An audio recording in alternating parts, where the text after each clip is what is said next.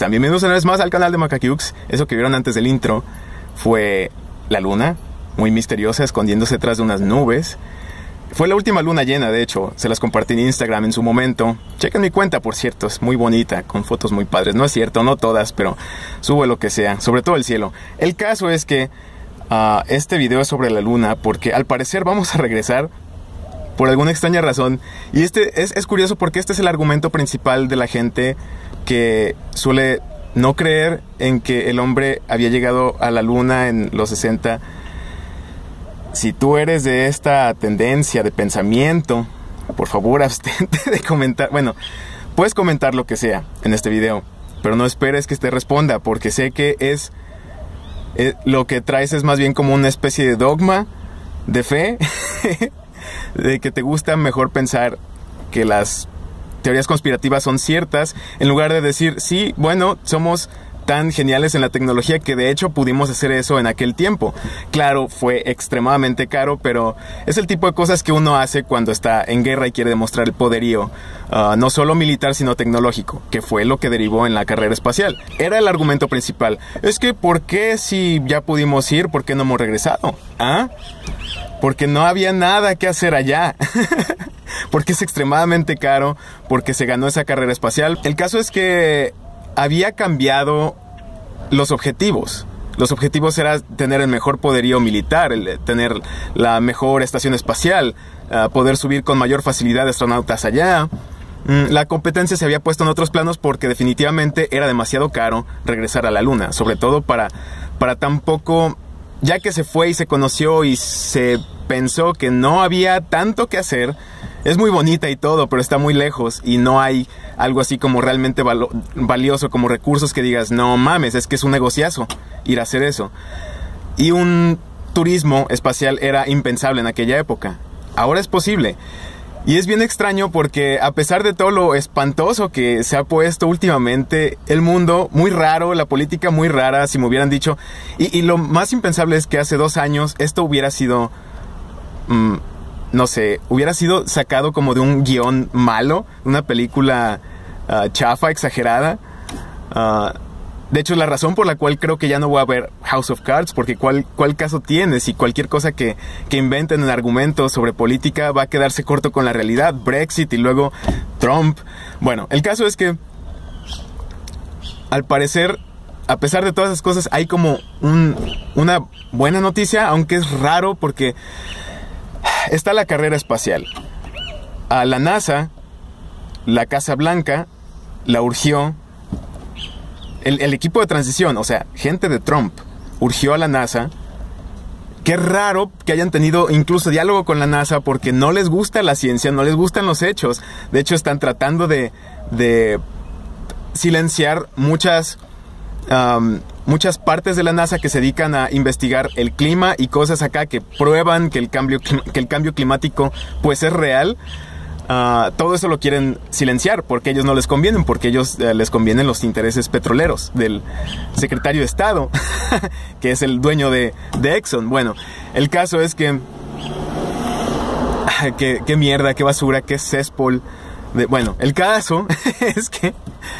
Uh, por alguna extraña razón el equipo de transición, y me imagino que la razón debe ser igual de oscura que todo lo que hace eh, el equipo de Donald Trump. La Casa Blanca ya, no, no es el equipo, ya no es campaña, ya es el presidente. Me debo hacer a la idea de eso.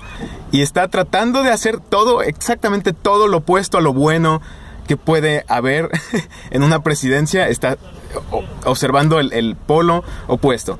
En este caso, debe tener motivos oscuros porque no tiene otros. El caso es que el equipo de transición de Trump se acercó a científicos de una manera sospechosa de la NASA para urgirlos en que apresuraran su plan de visitar otra vez la Luna. La NASA ya tenía este plan. Como parte de las pruebas para, para el Space Launch System, querían probar la cápsula Orion en una misión de ida y vuelta, obviamente, una órbita y de regreso. Uh, posteriormente se pensaba ir a lunizar y lo que sea, pero era más bien el enfoque era como una prueba para ir después a Marte, hacer una misión tripulada a Marte. Eso era para dentro de unos años. El Space Launch System se supone que solamente iba a ser probado este año en una misión suborbital, o sea, sacarlo al espacio y regresarlo a ver qué pasa, a ver si funciona la cápsula Orión, sin tripular, todo teledirigido. El caso es que el equipo de transición de Trump les dijo, queremos ir a la luna pronto. Quizá quieran hacer turismo ya, no sé, es, cualquier cosa que sea negocio les suena bien a esos idiotas, pero bueno, el caso es que los apresuraron, hicieron que la NASA cambiara su, su itinerario, su, programa pues, haciendo que incluso las pruebas sean más riesgosas. De hecho, le pidieron a la NASA que el primer viaje suborbital sea tripulado. Cosa que no estaba en los planes, así que tienen que trabajar a marchas forzadas para tener listos los equipos de soporte vital en la cápsula que no iba a necesitar porque iba a estar vacía cuando se probara, según lo que tenía programado la NASA.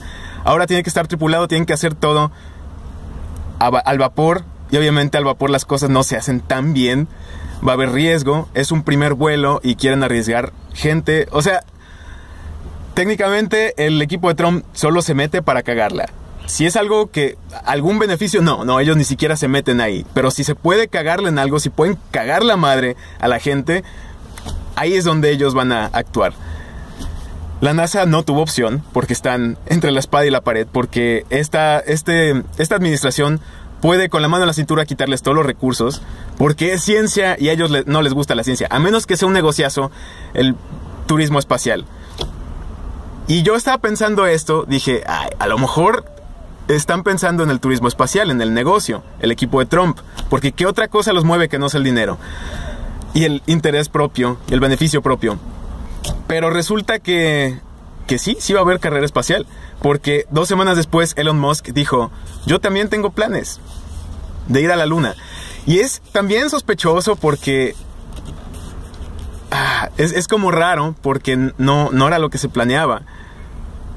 No era lo que se planeaba y ya tiene una misión, incluso programada, ya tiene dos clientes, dos mega ricos, de esos ricos, ricos, estúpidamente ricos, ridículamente ricos, uh, obscenamente ricos, ya tienen su, su boleto, ya pagaron la mitad, de hecho ya nada más están haciéndoles estudios, haciéndoles estudios para ver si sí pueden ir y regresar vivos, uh, porque me imagino que deben de, no, no deben de estar tan polluelos. El caso es que Elon Musk ya tiene planes, incluso ya tiene programado los viajes, uh, ya tiene más clientes en espera después de ellos. Dice que Igual va a ser un viaje riesgoso, pero los clientes están al tanto y todas más quieren ir. No los culpo, si yo tuviera el dinero probablemente también, también me anotaría. No sé, da miedo. Mejor en el tercer viaje. Ni siquiera en el segundo, en el tercero, ya que esté más caladita la cápsula. Es, es raro, porque de la nada tienes esa noticia que a mí me hubiera dado gusto saberla si, si no hubiera sido por porque la detonó el equipo de transición de Trump, porque eso solo me hace pensar que tiene un fondo oscuro.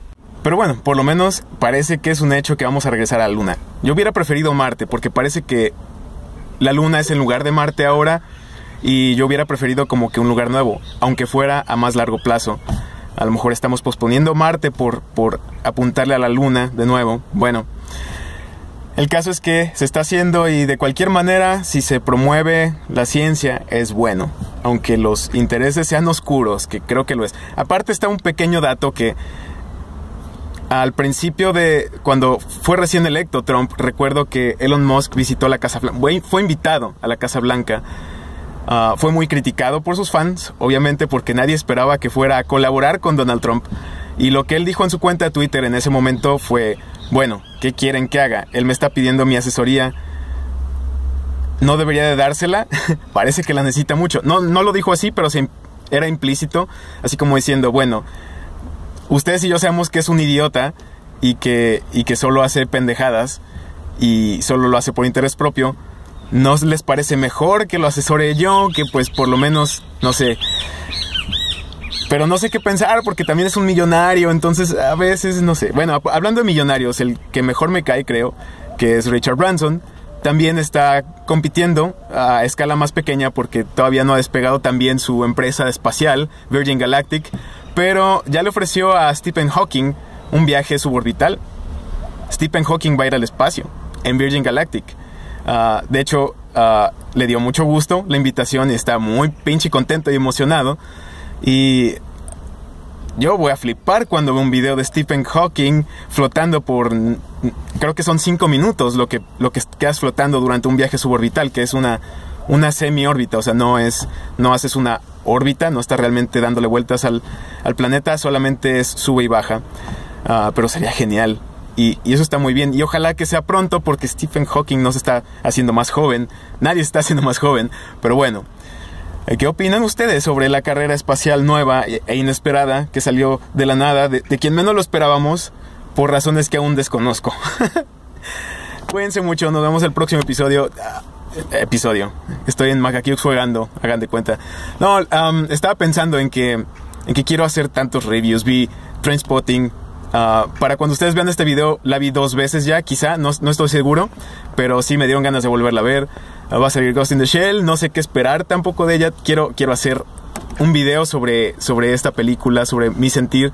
No sé si hacerlo antes o después, no sé si me va a cagar la película o no, pero de todas maneras quiero verla. Alien, The Covenant, ay, vienen tantas películas. Voy a estar tanto en cine este año. Sobre todo por las que quiero ver dos veces. Ah, los quiero mucho, se me acabó el espacio, me despido. Bye.